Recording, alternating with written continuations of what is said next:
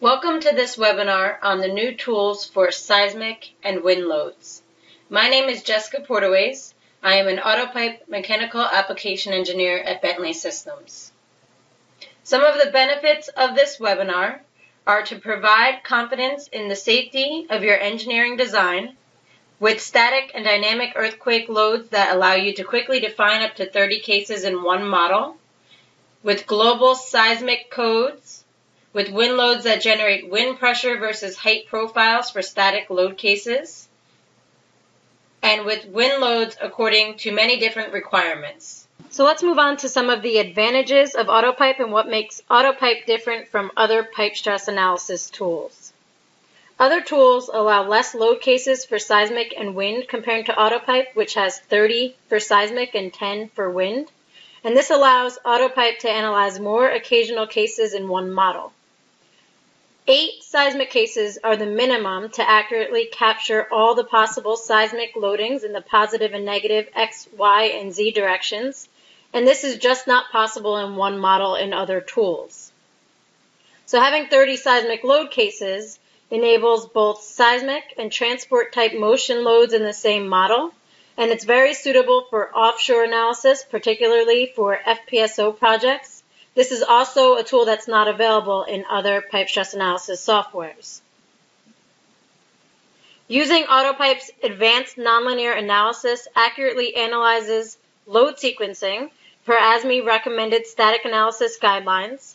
So for example, if an earthquake hits a hot operating piping system, it gives an accurate final state result.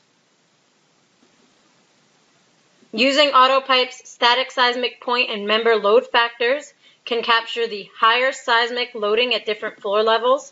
This is also not available in other tools. Also, it's fast and easy to turn off wind loading by segments. So for example, when a piping system passes from outside windy conditions to inside a building which is shielded from the wind, uh, this is very easy to apply in one model. And lastly, the combined structural and pipe stress models using the powerful STAAD and AutoPipe integration allows a combined stiffness model to be quickly generated and analyzed both for dynamic response spectra and for static earthquake analyses, which provides accurate, safer earthquake designs. Now let's jump into today's topics. First, we will start with our static seismic loads. When load static earthquake is selected, the static earthquake dialog is displayed. This dialog enables the user to define static earthquake load cases where forces are generated as multiples of the gravity load in the global X, Y, and Z directions. It's important to understand that because earthquake loads are bidirectional, separate cases may be required in order to consider the effect in both directions, especially if gaps are considered in the analysis. The following fields and parameters are provided in the static earthquake dialog box. First, you have the number of earthquake load cases. AutoPipe supports a maximum of 30 static earthquake load cases in one model. There are 20 allowed per analysis set. If the user attempts to add a new static earthquake load case after 30 have been defined, an error dialog will pop up and no new case will be created. There is a new button up top Using this, the user can add a new sequential entry to the static seismic table. There's a Modify Selected button. This will allow you to modify the parameters of the selected entry in the table. This button does not work for any user type static earthquake cases as there are no parameters to change. There is a delete selected button which will allow you to delete the selected row or rows of earthquake load cases. Load cases with a higher designation than the deleted cases will be numerically reduced to keep sequential numeration. There's also a delete all button, which will remove all of the static earthquake load cases from the model, and confirmation of removing all load cases is required. In the table below, there are six distinct columns. The first column for case is always disabled and represents the load case name assigned to the current acceleration load in the row. The second column is for seismic code. This is where you can select the desired static seismic code from the drop down.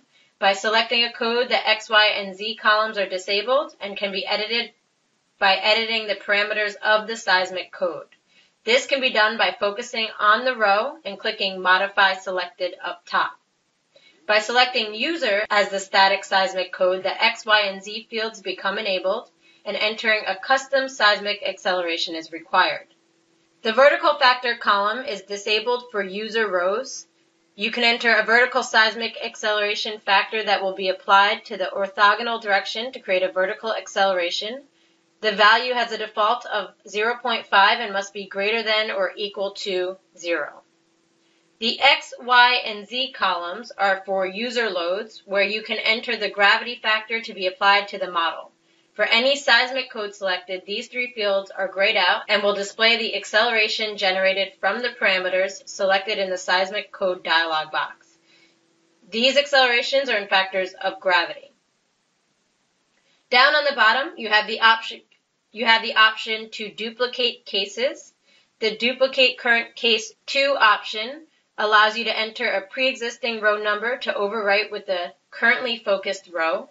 For example, by highlighting row 1 and entering 3 into the duplicate current case 2 field, and then clicking duplicate, AutoPipe will replace the values in row 3 with those that are in row 1.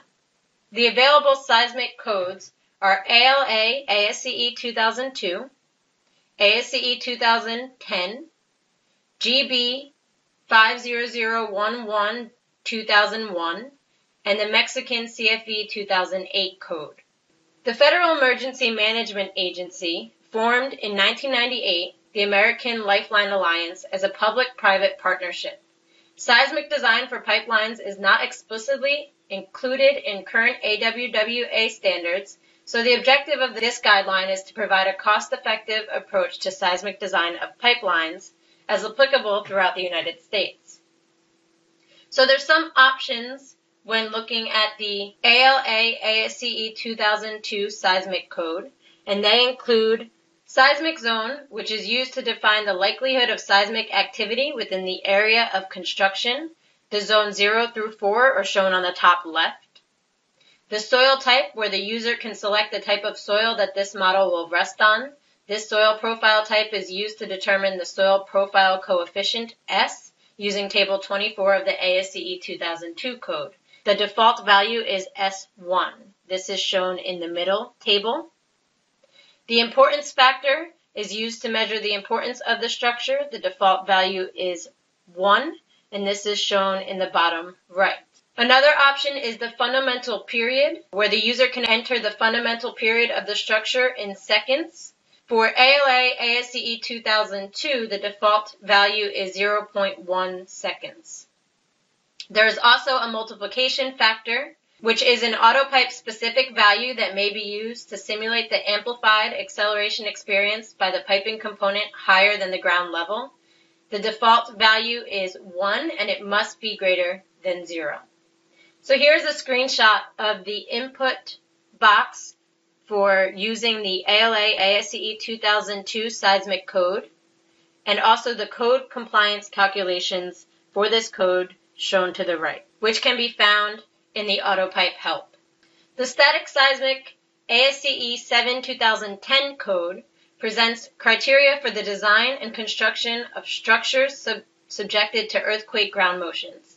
The specified Earthquake loads are based upon post-elastic energy dissipation in the structure, and because of this fact, the requirements for design, detailing, and construction should be satisfied even for structure and members for which load combinations that do not contain earthquake loads indicate larger demands than combinations that do include earthquake loads.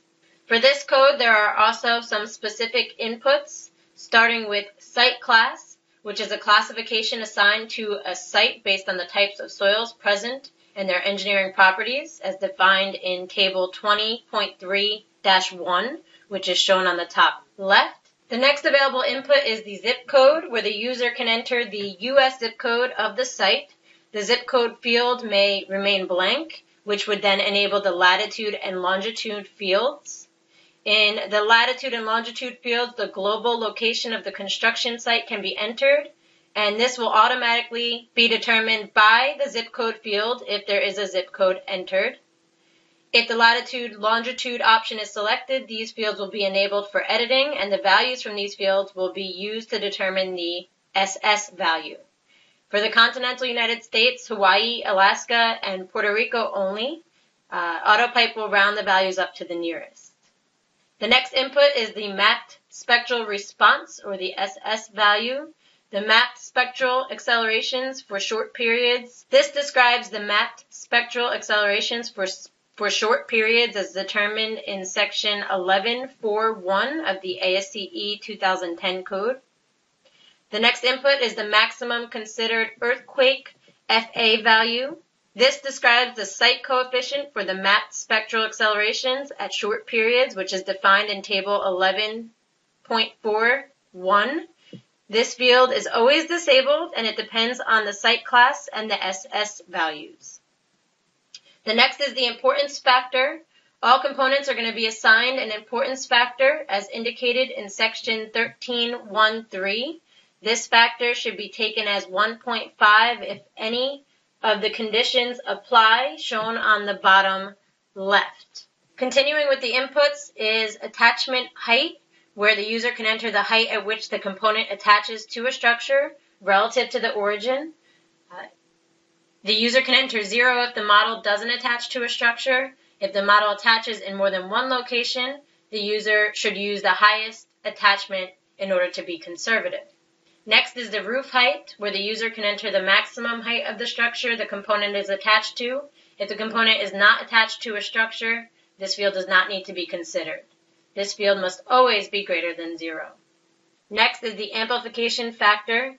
The component amplification factor is taken from table 13.6.1. Next is the component response modification factor, which is taken from table 13.6.1, shown on the right of the screen. And the values are determined by the piping code that's used in the model. For ASME B31 models, valid values are 12 and 6. And for any non-ASME B31 models, the valued values are 9 and 4.5. For AutoPipe models, this value is fixed at 2.5 and it cannot be changed. Next is show location on map. Here's where you can confirm the latitude and the longitude selected by viewing it using Google Maps. If the SS option is selected, this button will be grayed out. And lastly is the multiplication factor. This value is an autopipe specific value that may be used to simulate the amplified acceleration that's experienced by the piping component higher than the ground level. The default value is 1 and it must be greater than 0. An important note is that this code does not require the fundamental period and it is not requested for the code parameters dialog box. So here's a screenshot of the input box for the ASCE 2010 seismic code and also the code compliance calculations shown to the right, which can be found in the AutoPipe help. The Chinese GB 50011 code details seismic design in Chapter 5. Seismic action of every structure should be considered and complied with the following principles using this code. Generally, horizontal seismic actions may be considered and checked separately along with the two orthogonal major axial directions of the building structure, and that horizontal seismic action should be resisted by all of the corresponding direction lateral force resisting members. For structures having the oblique, directional, lateral force resisting members and the oblique angle to major orthogonal axes greater than 15 degrees, the horizontal seismic action along the direction of each lateral force resisting member should be considered respectively. For structures having obvious asymmetric mass and stiffness distribution, the torsion effects caused by both two orthogonal horizontal direction seismic action should be considered. Other structures are permitted to use a simplified method, such as adjusting the seismic effects method to consider their seismic torsion effects. For large span structures and long cantilevered structures for intensity 8 or 9, and for tall buildings for intensity 9, vertical seismic action should be considered, which is in section 5.3. This seismic code also has some inputs when selected, starting with site class, which is the soil type the structure sits on, and it's used to determine the characteristic period, which is found in table 5142. The seismic group, which is used to determine the characteristic period found in table 5142. The influence, which determines how common earthquakes occur. It's used to determine the maximum horizontal seismic coefficient found in table 5141, shown here. The intensity, which is the maximum intensity of the earthquake to consider for the region. It's used to determine the maximum horizontal seismic coefficient, again found in table 5141. The fundamental period of the structure, which should be entered in seconds. For the Chinese code, the default value is 0.1 seconds. The damping ratio of the component should be entered as a percentage and the default value is 5% and the multiplication factor, which again is an autopipe specific value that may be used. So here's a screenshot of the dialog box for the Chinese seismic code. And again, the code compliance calculations to the right, which can be reviewed in the autopipe help.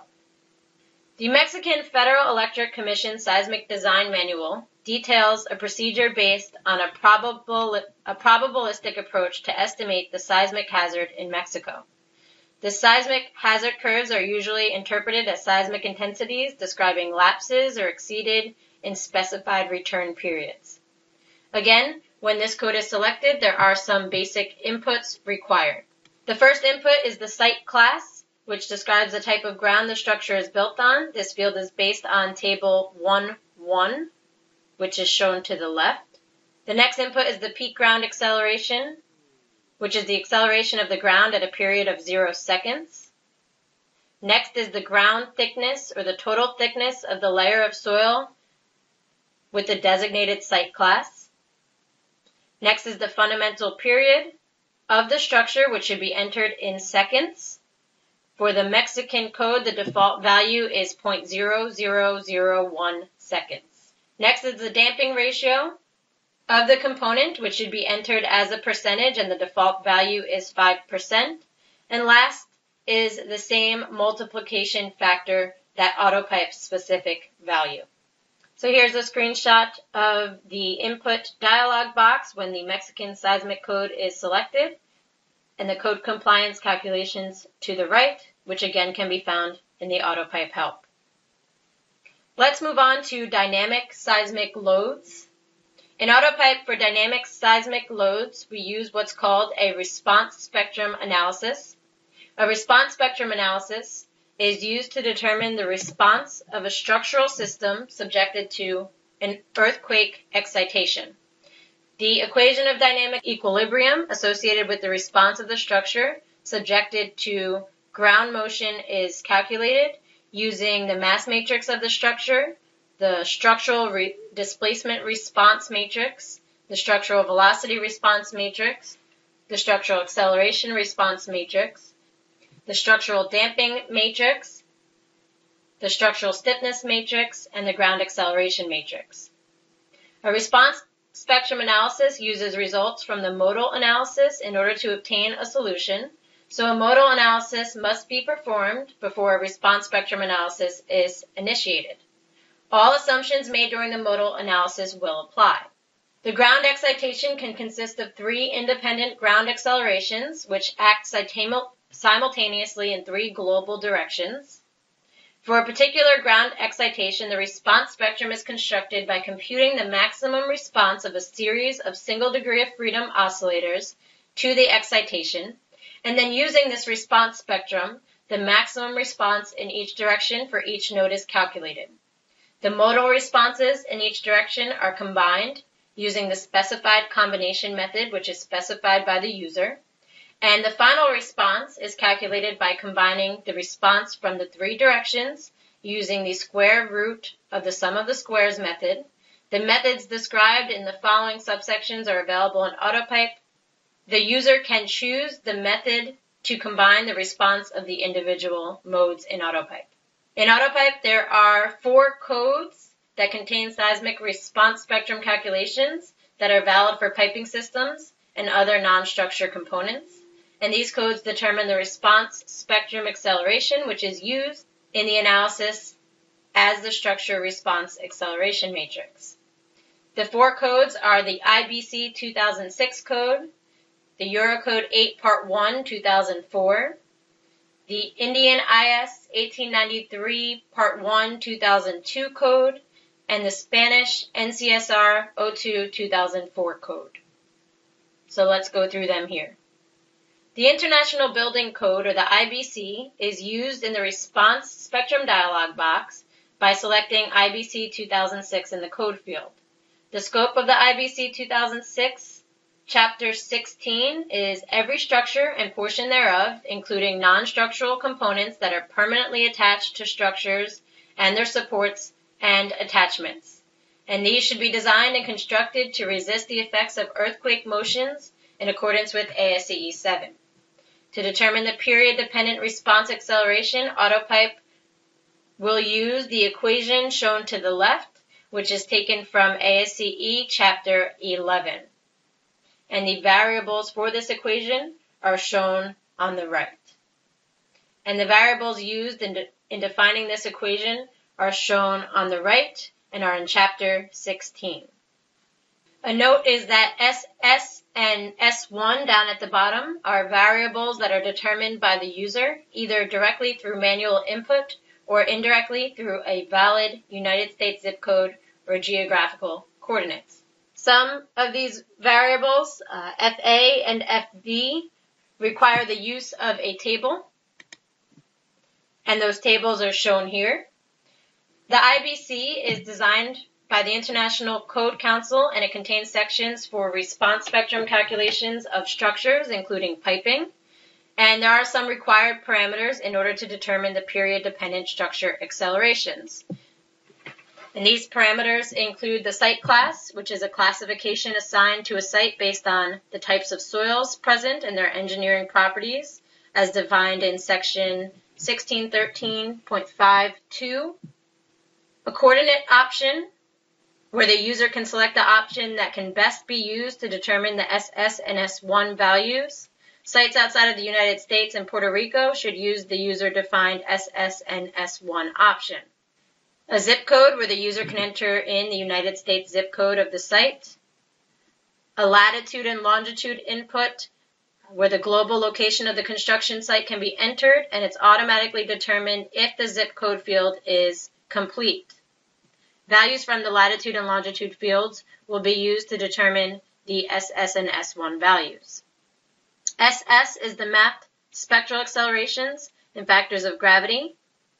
For short 0.2 second periods is determined in section 1613.5.1, and S1 is the mapped spectral accelerations and factors of gravity for one second period as determined in section 1613.5.1.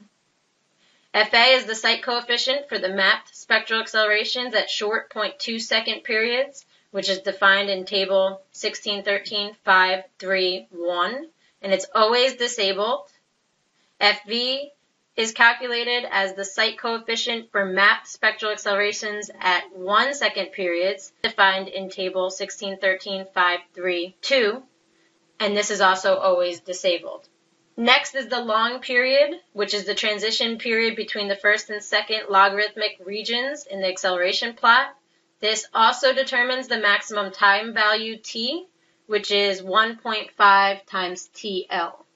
Next is the frequency over the period increment, which is the resolution of the table and plot, the accelerations are interpolated from the periods during the dynamic analysis. And lastly is the option to show location on the map, and this confirms the location selected by viewing it using Google Maps. The mapped spectral accelerations for short and one second periods are taken from the U.S. Geological Sur Survey website. This rectangular gridded data assumes a 2% probability of exceedance in 50 years, and the tables are broken into four regions with varying release years. For the continental U.S., it's 2008, for Alaska, 2007, for Hawaii, 1998, and for Puerto Rico, 2003. An important note is that data from the U.S. Geological Survey is only valid for the continental United States, Hawaii, Alaska, and Puerto Rico. So AutoPipe will display an error message for any invalid geological coordinates, and SS and S1 values should then be manually entered. Eurocode 8 is used in the response spectrum dialog box. Eurocode 8 Part 4 is the design of silos, tanks, and pipelines for earthquake resistance. This section of the code states that the seismic action to be used in the determination of the seismic action effects for the design of silos, tanks, and pipelines shall be that defined in Eurocode 8 Part 1 in the various equivalent forms of elastic, site-dependent response spectra. Therefore, AutoPipe uses Part 1, which contains general elastic response spectrum equations. The equations are broken into two types of spectra, elastic response spectrum and design response spectrum. The spectra are divided into two types, type 1 and type 2 as defined by the user. Table 3.2 and Table 3.3, shown here, contain period constants and soil factors, which are defined by the spectrum type and the ground type for the horizontal spectrum. This shows the calculation for the elastic response spectrum, which includes both a horizontal elastic response spectrum and a vertical elastic response spectrum, which can be found in the AutoPipe help. This shows the calculation for the design response spectrum, including a vertical design spectrum, again, which can be found in the AutoPipe help. So Eurocodes are a set of harmonized technical rules which are developed by the European Committee for Standardization for Structural Designs in the European Union.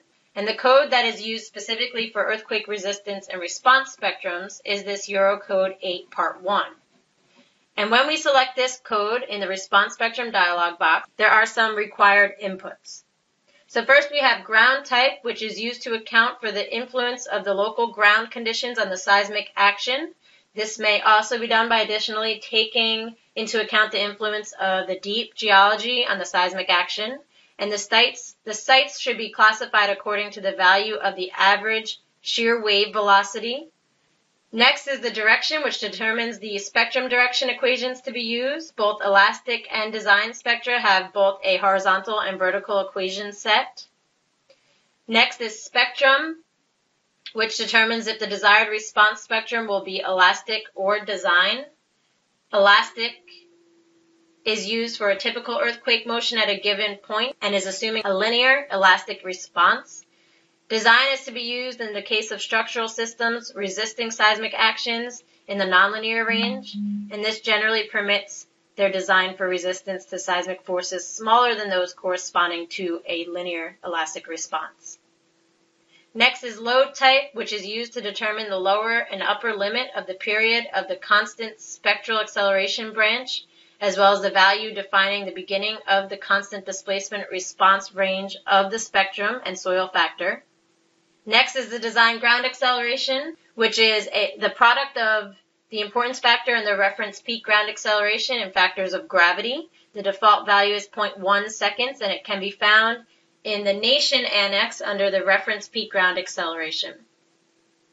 Next is the behavior factor, which is an approximation of the ratio of the seismic forces that the structure would experience if its response was complete elastic with a 5% viscous damping to the seismic forces that may be used in the design with a conventional elastic analysis model. And this option is only applicable to the design spectrum. And lastly is the frequency over the period increment uh, this is a resolution of the table and plot, and the accelerations are interpolated from the periods during the dynamic analysis. The Indian IS 1893 code can be selected in the response spectrum dialog box. The Indian IS Part 2 code contains provisions on liquid retaining tanks, and this part states that it should be used in conjunction with the Indian IS 1893 Part 1 code. Therefore, AutoPipe considers the general response spectrum equ- equations located in Chapter 6. An important note is that for vertical considerations, the vertical acceleration spectrum can be taken as two-thirds of the horizontal acceleration spectrum shown here. So the Indian Standards IS 1893 Part 1 2002 is designed by the Bureau of Indian Standards, the BIS, Part 1 details the criteria for earthquake resistance design of structures. And when this is selected, there are two inputs required. First is the subsoil class, where the user can select the type of subsoil that dominates the area the piping structure will be built on. And next is the frequency over period increment, which is the resolution of the table and plot.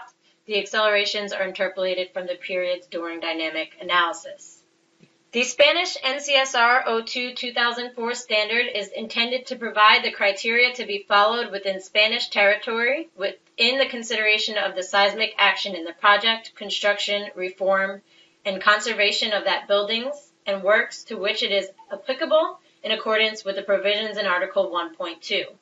Article 1.2 states that this standard applies to the design of new plant buildings as well as other types of structures located in Article 124 and this article refers to section 2.2, the calculations of seismic, accelerations.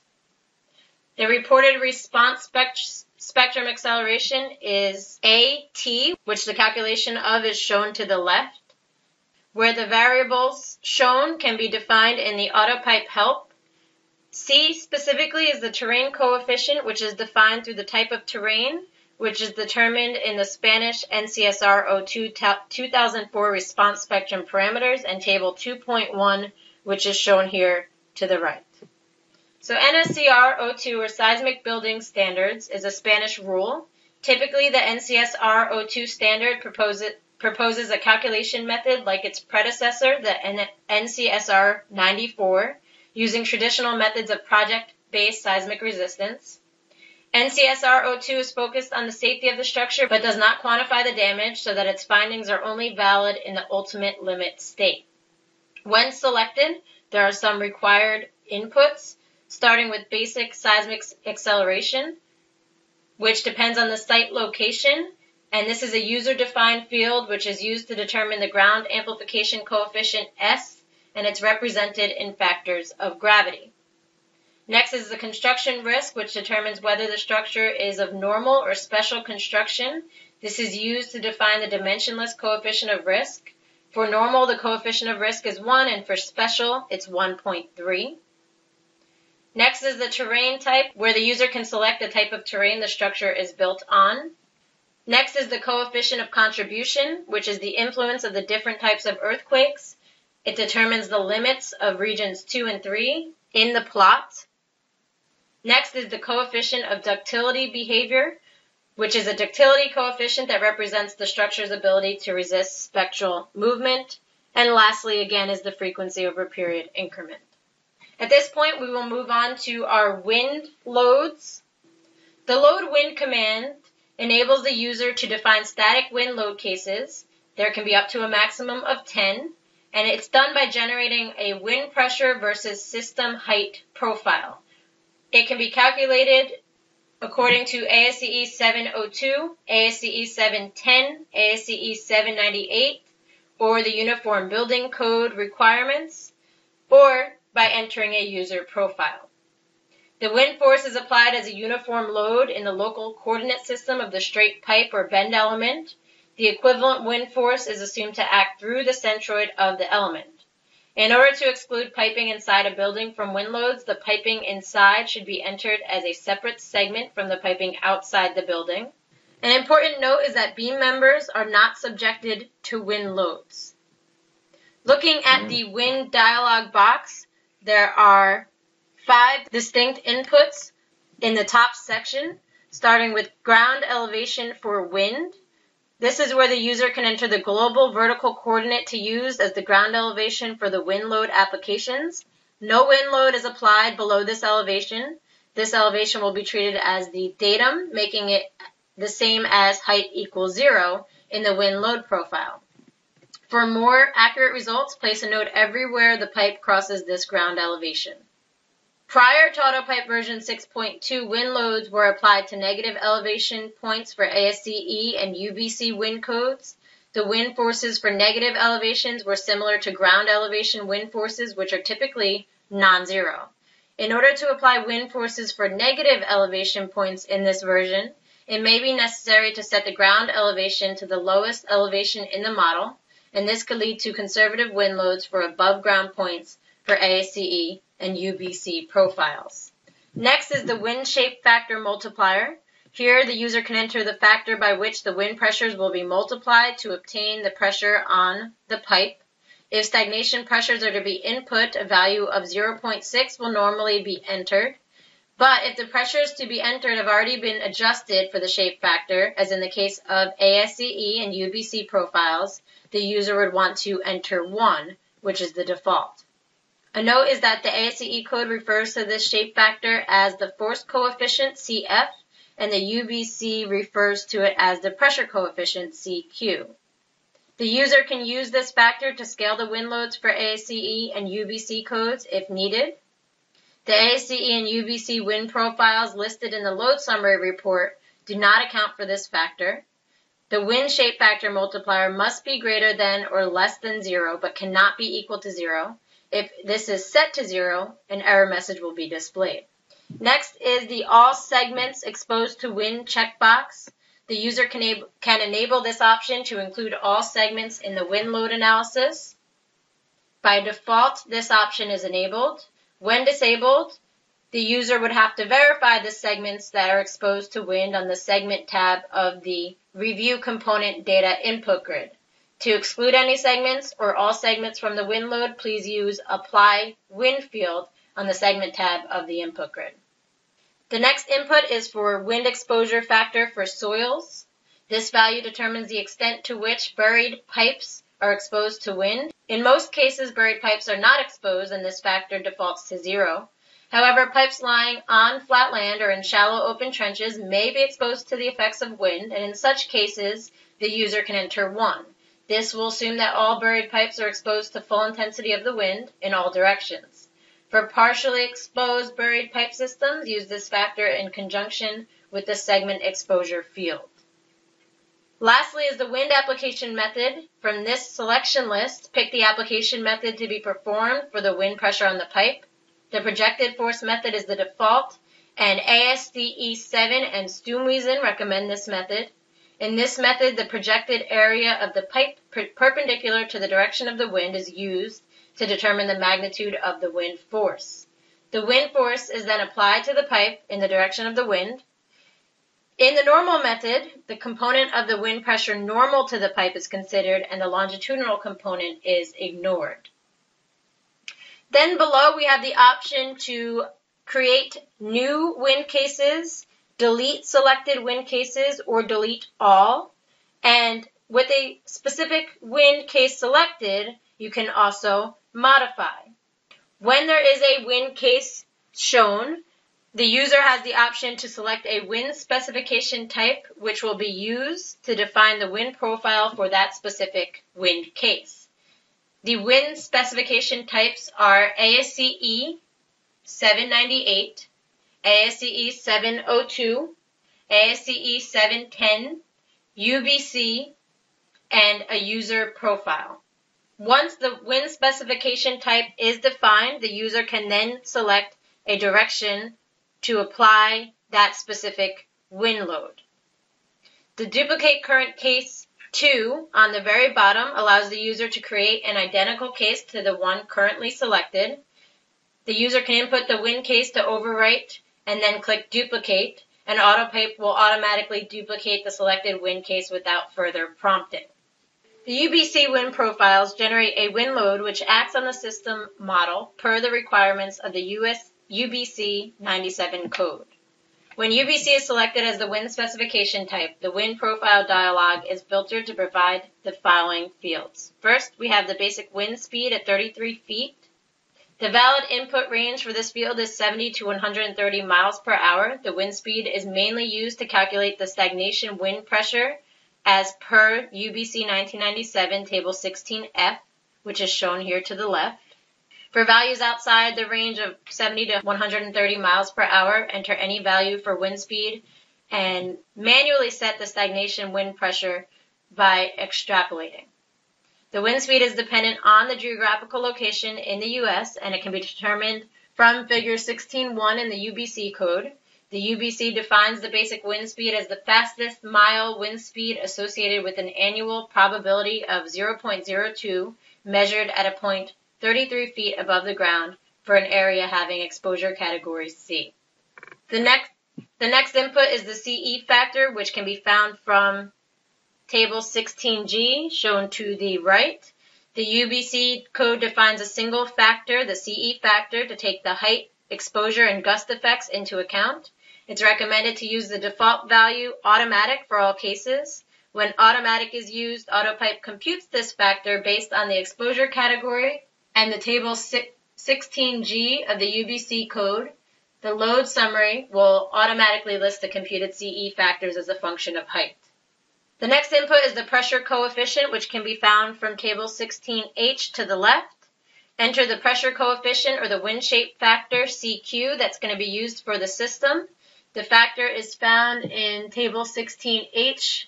For chimneys, tanks, and solid towers, a value of 0.8 is given by this table. Next is the wind pressure using table 16F to the right. The user should enter the pressure coefficient or the wind shape factor, CQ, to be used for the system. Next is the wind pressure, which can be found from table 16F, shown to the top right. The user should enter the wind stagnation pressure QS at a standard height of 33 feet, as found in this table.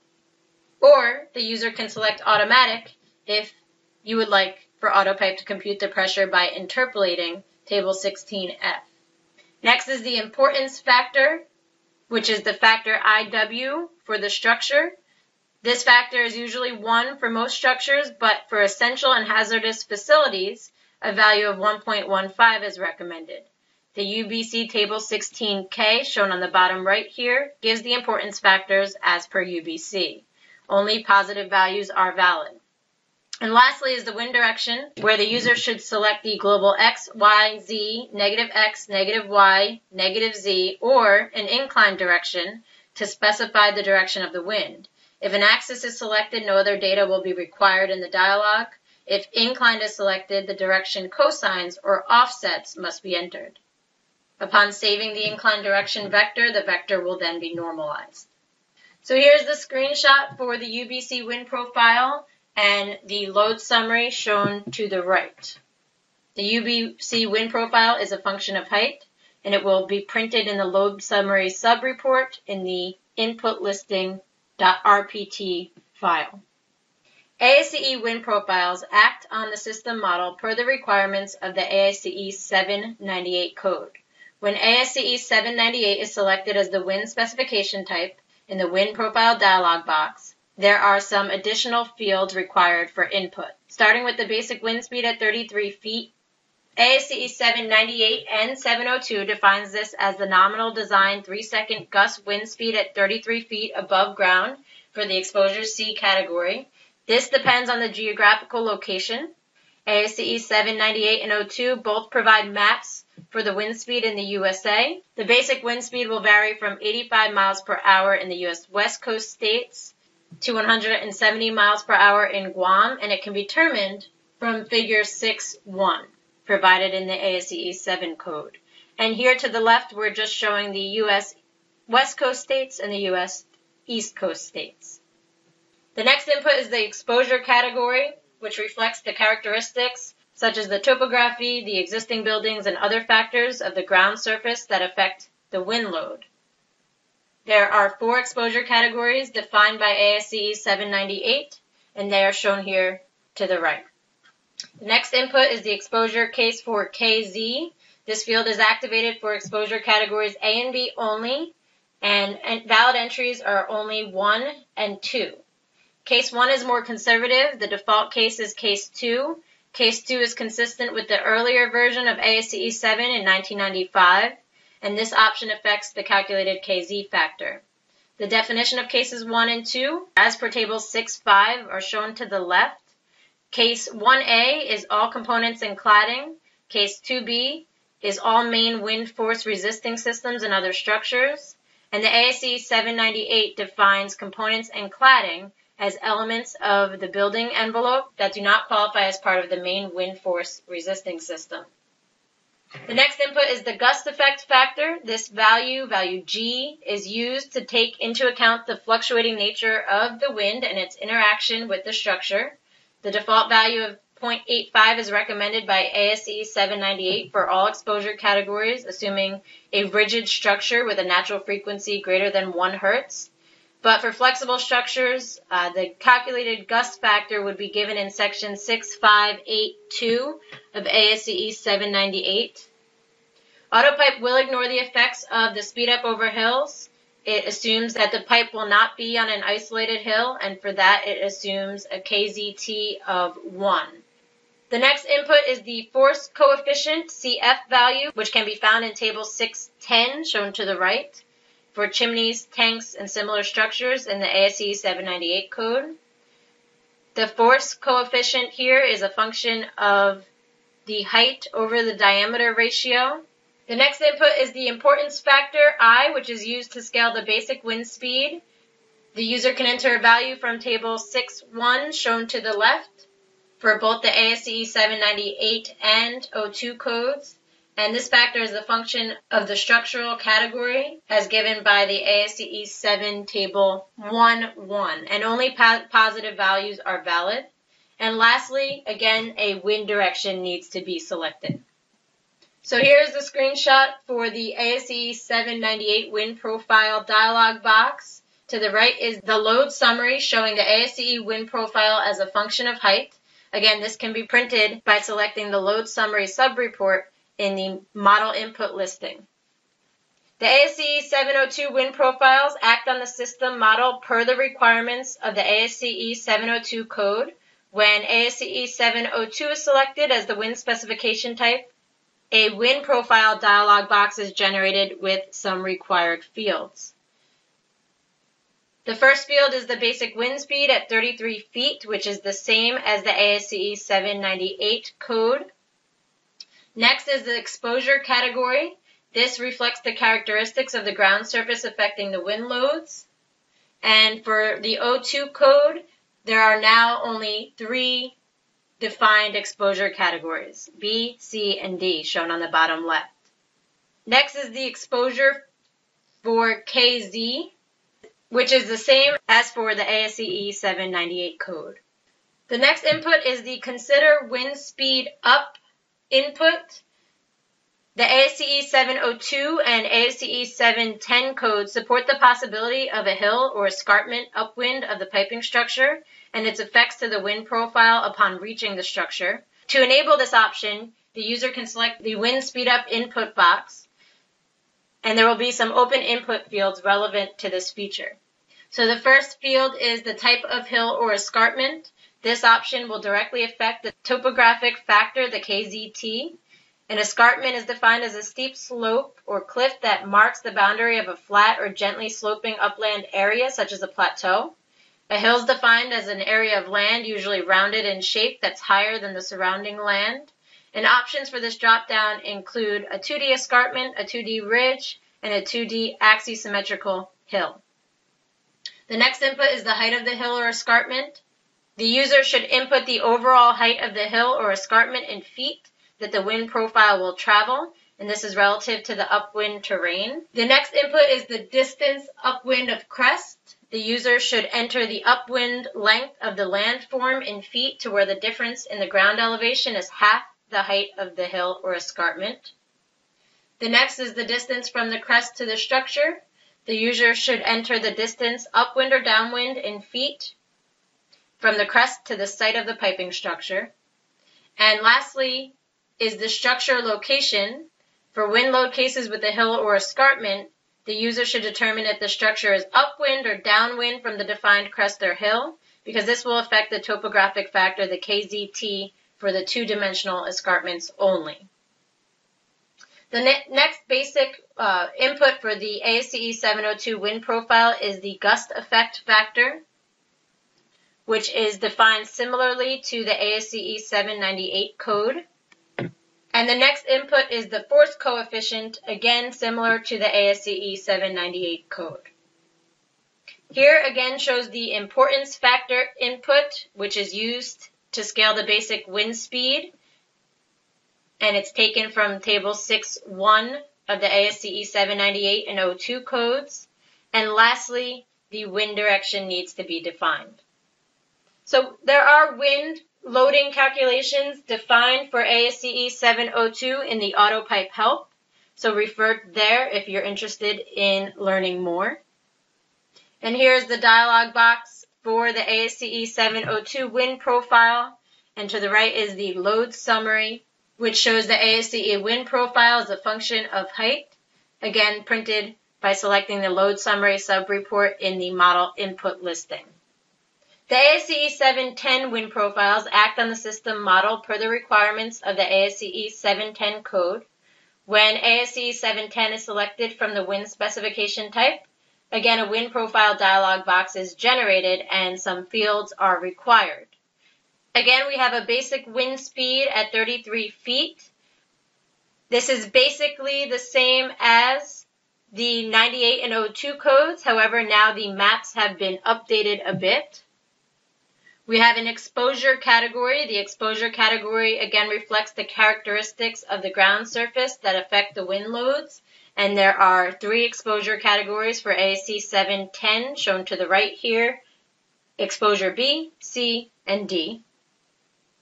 The next input is the consider wind speed up, which is the same as it was in the ASCE 702 wind profile along with the next two inputs, the gust effect factor and the force coefficient, which is found from the table to the right.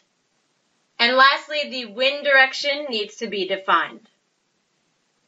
The ASCE 710 wind loading calculations are also shown and defined in the AutoPipe help, which can be referenced to. And here's a screenshot of using the ASCE 710 wind profile and the load summary that is produced showing the ASCE 10 wind profile as a function of height. The last option for wind loads is to select a user profile.